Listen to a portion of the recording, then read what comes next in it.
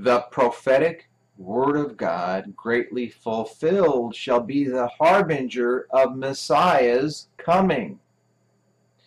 Thus says the Almighty Creator God to the world, the time of God has come in which the prophetic word of the Holy Bible shall begin to greatly be fulfilled, such that the anger of the Lord will be manifested across the whole planet as a sign of what is to come unto mankind in the fullness of the planet.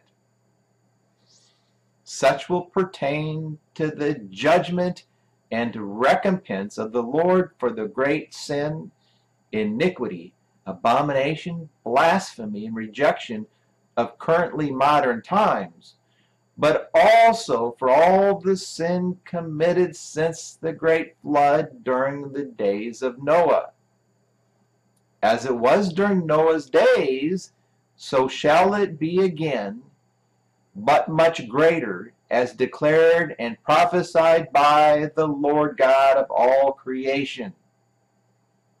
End of message.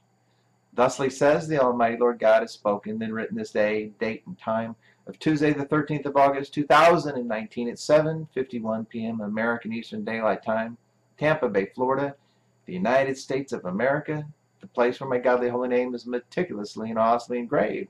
Published for Tuesday, the 19th of May, 2020.